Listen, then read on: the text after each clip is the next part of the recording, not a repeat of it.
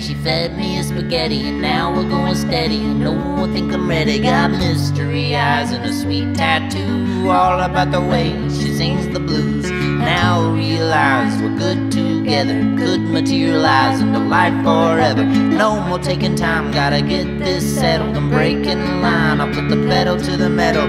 Tell you what I'm gonna do. Tell your mama marry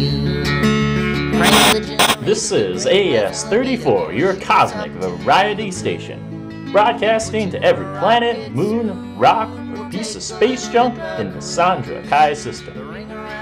Thanks to our sponsor, Redshift Chewing Gum. No matter where you are in the observable universe, if you need your fix, choose Redshift. Well, folks, today is a special day. It has been exactly 10 gigaseconds since the colonization of our beautiful home here in the beyond, and more than 150 megaseconds of peace between Hagaria and Upsa. Celebrations are planned across the system, with Prince Daichan himself visiting Sandra Nor to commemorate the occasion. Now, let's go to the Hyperwave for some listener comments on this anniversary. Come in, Ryder Halpane from low Hegarian orbit. I, I lost my son in the rebellion. I like to think that he'd be proud of what we've done. And if I can just make one dream come true, I'll Thank make you, his... Ryder. And now to Mr. Xavier X Xavier from the Kipper Line Rim. The peace is a lie. Prince Daichan is a traitor who will pay for his sins. Long live the Order of the Ebon Hand. We represent This call screening AI gets worse and worse.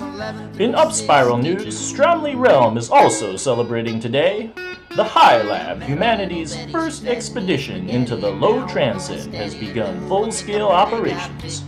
What riches their untapped archive will hold, only time will tell. The Higaran mining expedition to the Odd Off Star has ended in tragedy with the permadeath of the entire crew.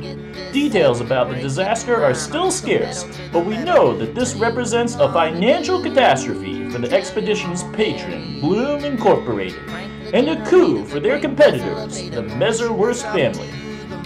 Space weather today will be heavy with a 30% chance of solar flare across the.